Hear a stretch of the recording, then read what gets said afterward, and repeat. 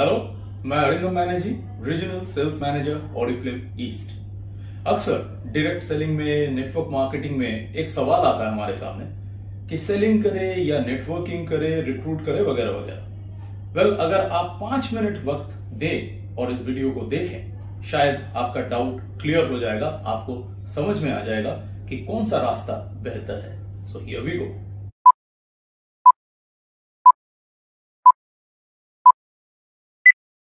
hello ladies and gentleman selling या networking बहुत common सवाल है, बहुत कॉमन डाउट है in the world of network marketing in the world of multi level marketing हर कोई इस दुविधा में है, कौन सा ज़्यादा बेहतर है करना, किसके पीछे ज़्यादा हार्डवर्क करे फोकस करे एक्सेट्रा आइए मैं आज आपको एक एग्ज़ाम्पल देता हूँ, शायद आपका ये डाउट क्लियर हो जाए. फॉर एग्ज़ाम्पल कोई अगर मुझे कहता है आके कि अरिंदम जी, आपके पास दो बहुत अच्छे टैलेंट है कि आपका वॉइस बहुत अच्छा है और आपका कम्युनिकेशन बहुत अच्छा है। वॉइस एंड कम्युनिकेशन दो टैलेंट तो इन दो टैलेंट की वजह से मेरे ही मोहल्ले का एक क्लब से कोई आता है और कहता है कि अरिंदम जी, हमारे यहाँ पे बच्चों का ड्राइंग कंपटीशन होगा लेडीज़ का मोमबत्ती जलाना वगैरह ये सब होगा तो आप अगर इस प्रोग्राम में अनाउंसर बने तो बहुत अच्छा होगा। हम आपके लिए एक पैकेट ऑफ़ स्वीट्स शायद कोई फ्लावर बुके वगैरह देंगे। इट विल बी ग्रेट और सेम डे कोई और आता है मेरे पास from some famous TV channel और कहता है कि हम केबीसी जैसा एक शो यहाँ पे करने वाले हैं।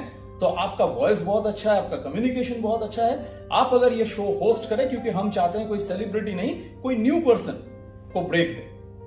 तो मुझे कौन सा ऑप्शन लेना चाहिए?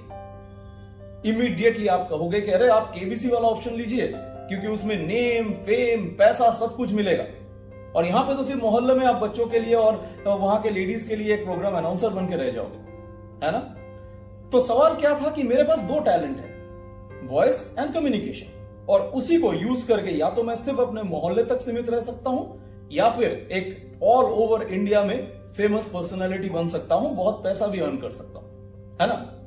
Now just let's get into the sellers and network का इस डाउट में या डिस्कशन में ठीक है? तो सेलर जो अच्छा सेल करता है, उनका क्या टैलेंट रहता है? दो चीज़ें कम्युनिकेशन स्किल एंड लोगों को कन्विंस करने का स्किल एंड उसी तरह, एक नेटवर्कर के पास, यानी जो अच्छे से रिक्रूट कर सकता है, उनके पास क्या टैलेंट रहता है?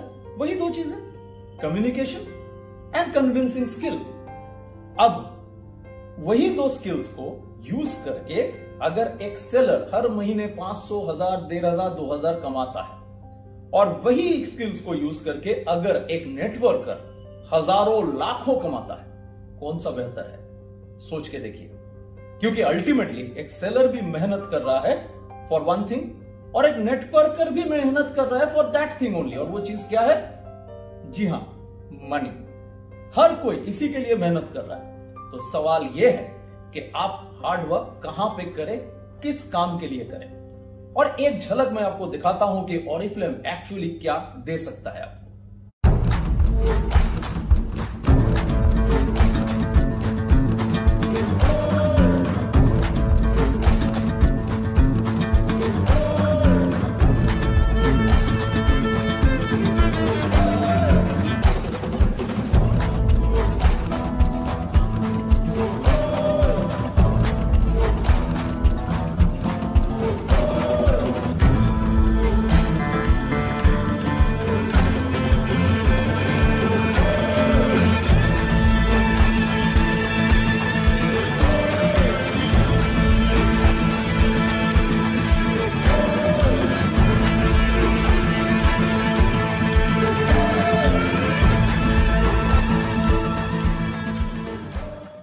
देखा आपने?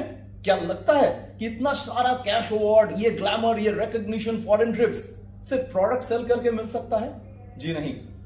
प्रोडक्ट सेल करके सिर्फ़ हज़ार, दो हज़ार, पाँच सौ, ढाई हज़ार पे अपनी ज़िंदगी को मत रोकिए। और फ़िल्म का टोटल बेनिफिट्स अगर लेना है तो लोगों को इन्वाइट करें, उन्हें ट्रेन करें डेवलप करें रिक्रूटमेंट करें, और ये सब कुछ हासिल करें। So decide now